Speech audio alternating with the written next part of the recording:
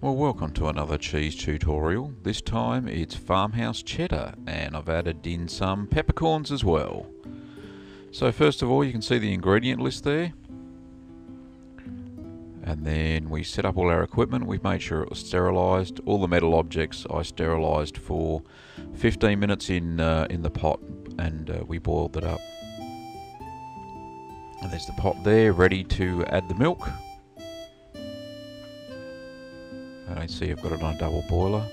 And here is my new curd cutter uh, to make it easy to cut the horizontal um, parts of the curd.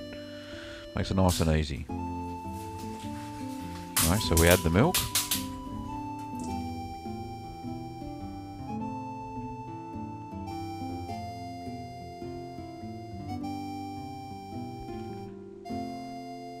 So I'm using 8 litres of milk there.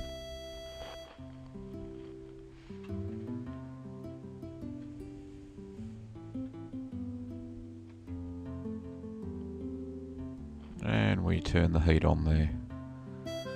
And we're heating that up to 90 degrees Fahrenheit or 33 degrees Celsius. So at this stage we can add the first ingredient. Now because I'm using homogenized milk, I need to add calcium chloride. Now I didn't put this in the ingredient list because if you're using normal pasteurized um, farm bought milk, then you can simply uh, skip this stage and just uh, heat the milk up as I, as I said.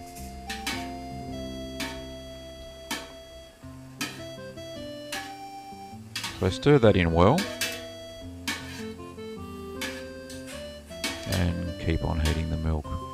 So watch the thermometer all the time because it can get away from you. Now the milk's at the right temperature and we add in the starter culture. So we stir that in well.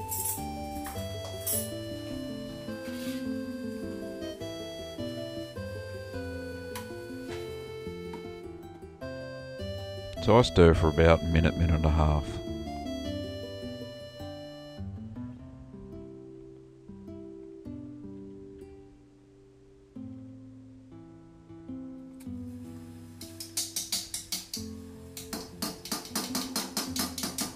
So now we let that rest. We pop the lid back on and it rests for 45 minutes and that ripens the milk.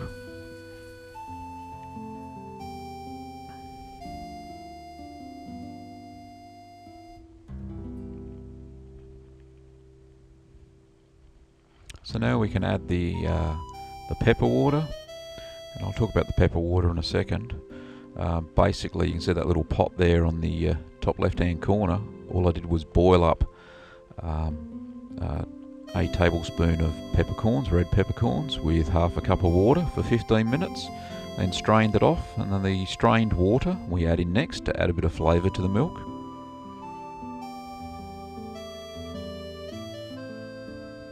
There we go. Just stir that all the way through.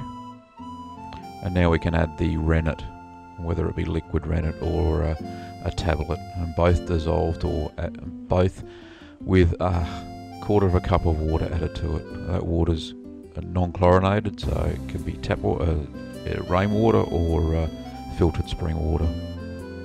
So stir that very well, but no more than a minute because it'll start to uh, start to set.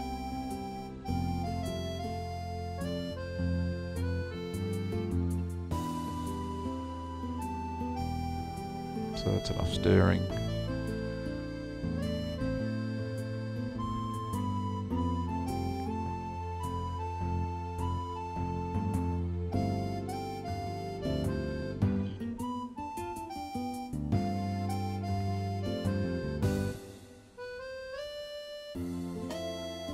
Alright, now that's enough stirring. So put the lid on, keep it warm still, so that stays at uh, the 33 degrees Celsius the whole time. So we wait another 45 minutes, see if it's set. And what we do now is we're going to check for a what's known as a clean break. There we go, the milk splits under my finger. The finger's nice and clean. And now we cut the curds. Now this is where we use the curd cutter that my friend Dave from uh, Manitoba, Canada sent me. So here we go, it's the first test. And all I'm doing is uh, swinging that round 360 degrees and that's cutting the curd horizontally. Now I'll still have to cut the curd vertically with a knife but it's an easy job. This makes it so easy. Go, pull it straight out. Give it a tap and then wash another tap later on.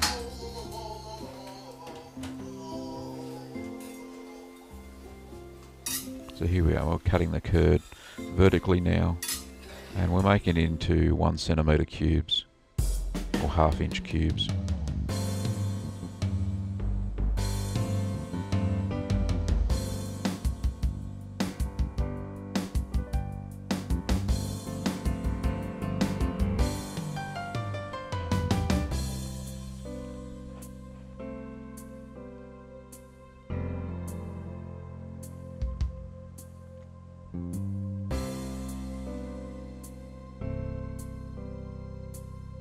So cutting the curd takes a little while, but that's okay.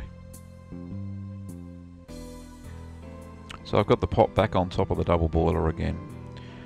And now let's see if the curd cutter worked. Oh, look at those beautiful cubes. Fantastic. And now we're going to heat the milk up to 38 degrees Celsius uh, or 100 degrees Fahrenheit. And while we're doing that, we do that over a period of 30 minutes. So we're heating it up as we're stirring to make sure that the curds don't mat.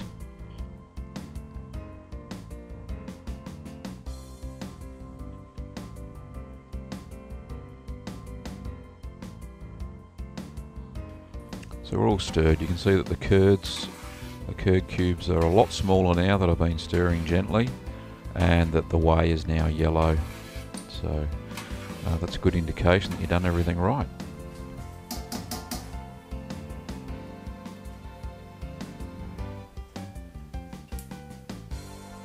So we're going to let that rest now so that the curds all sink to the bottom.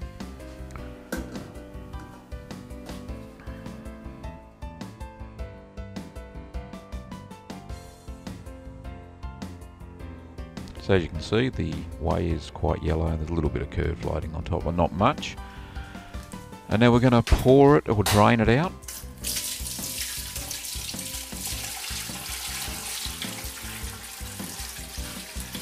notice there's not many curds coming out until we can see a big curd mass right at the bottom. Makes it so much easier to pour out.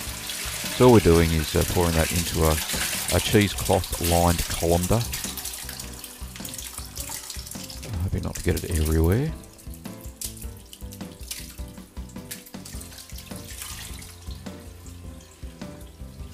And we just get the rest out with our hands.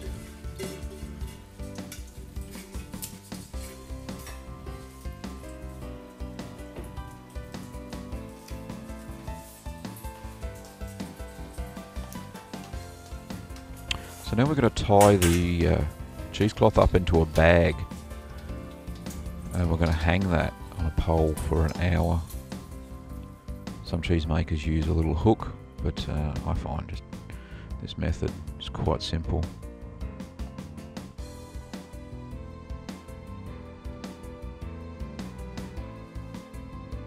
So bring it over to our pole on a couple of chairs. I find this quite easy in the kitchen and just thread the pole through the bag. Without the knot coming undone so I have to retie that again. Ah, there we go.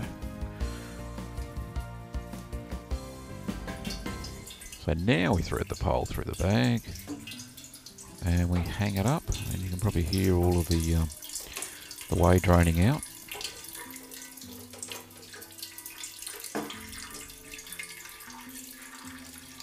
And make sure, I always put another double knot at the top. Last thing you want is your bag of curds falling into the into the draining pot and making a mess everywhere.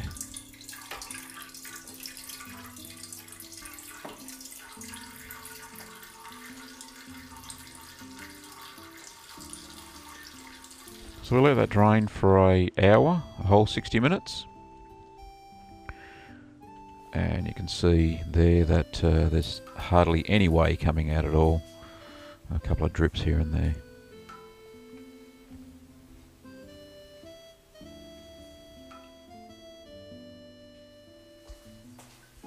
So we take the uh, bag of curds over to the sink. We're going to open that up now.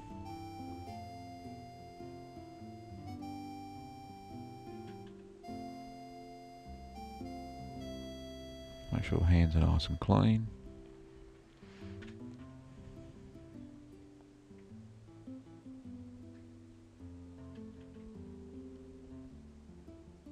You can't really use that, reuse that whey because it's got that pepper water in it. So I don't think it'd taste very nice in a cake or anything. So we undo our bag and we've got a nice big curd mass. Quite tight, quite firm. So what we have to do now is we need to mill the cheese. And milling simply means breaking it up into smaller bits so that we can mix um, things into it. So we're going to break it up into walnut size or thumb size pieces and that takes little time so I've sped that up.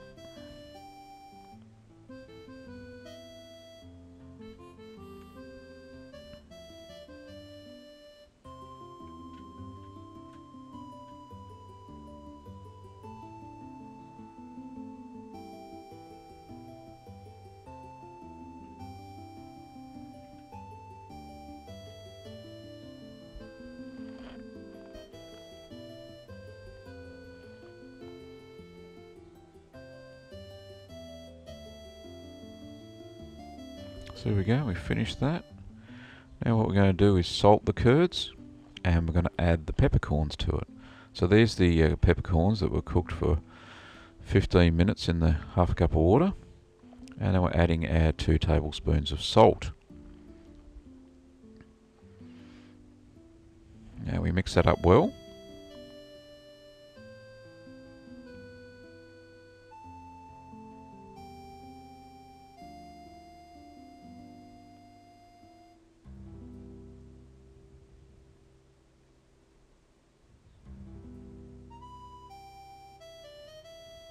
So now that's mixed all the way through and you distributed the peppercorns all the way through as well. And we're going to fill up the mould next. So just uh, line it with the cheesecloth that you use to drain the cheese with. There's nothing wrong with it, there's no beasties on it.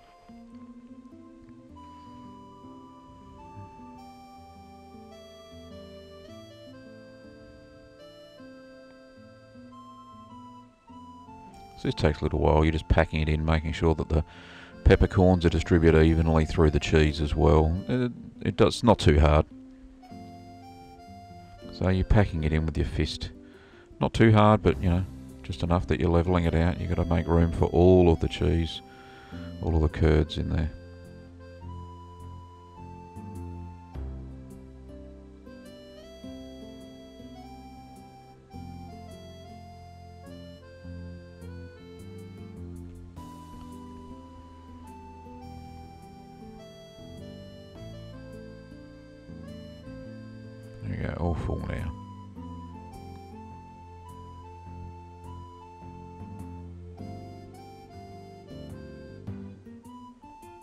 So now we're going to press the cheese. That's first pressing. So we put the edge of the cheesecloth over the top of the of the the cheese, and then put the follower on top. The follower is just a little plastic thing the same size as the the basket that you put it into. Now I use a 50 pound spring to help me gauge what the pressure is. So fully closed it means it's at 50 pounds or 22 kilos. So pop that in. Now the first pressing is uh, is only light. You're only trying to form the cheese so you can pull it out and turn it over later.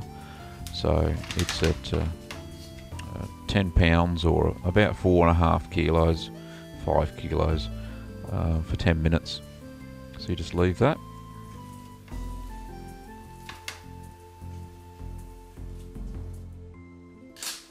And you come back in 10 minutes.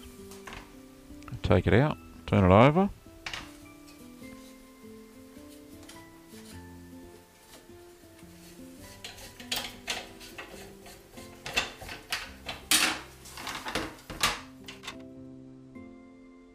Now it's a little bit fiddly. So I'll sped this part up. Now, you've got to be very careful because it's only just holding together. We turn it over, pop it back in the mould again. This time we're going to press it a little bit harder. So 20 pounds of pressure, so my little spring, or 9 kilos. Just uh, down about halfway, what looks like halfway anyway.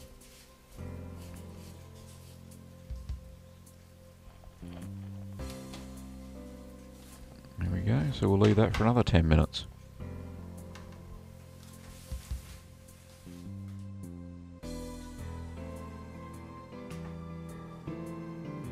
We take that out, turn it over again. And the final pressing. So it's quite a good lump, it's, it's uh, not too difficult to handle now. Quite firm.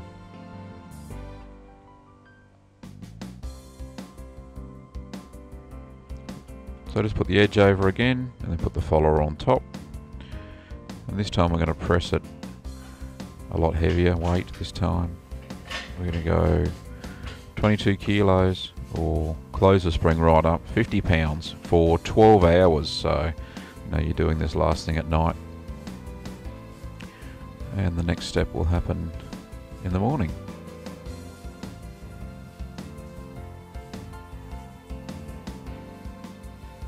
So that 50 pound spring is closing all the way up. Now there's not a lot of whey coming out, but uh, this makes the cheese form uh, quite hard.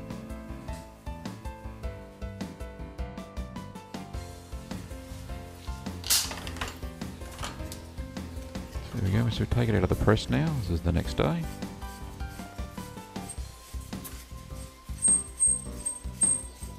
That's quite a firm mass.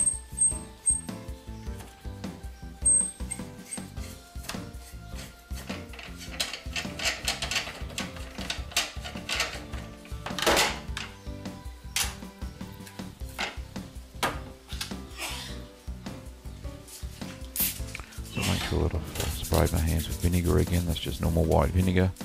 But uh, make sure there's no foreign moulds on my hand. I want to get contaminating the cheese any.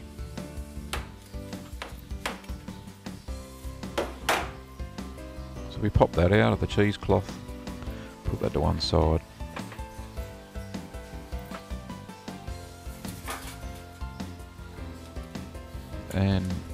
It's actually got a little bit of a jagged edge on top, so what we're going to do now is we're going to trim that off so uh, it's easier to wax the cheese later on. So we've just got a really sharp knife, we're just cutting that little bit off the, that edge off uh, out of the mould.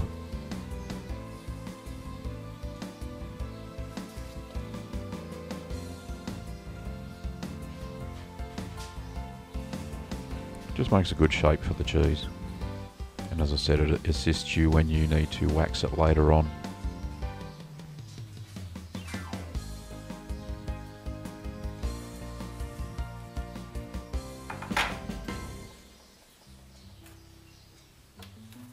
There we go, and you can see the peppercorns are nicely distributed throughout. Now we're going to dry the cheese and we're going to pop it on a wooden board. I put it on top of a sushi mat as well. This helps it drain. And basically what we're trying to do is form a rind on it now. Uh, now to keep the little beasties away, and we have um, insects that may fly around.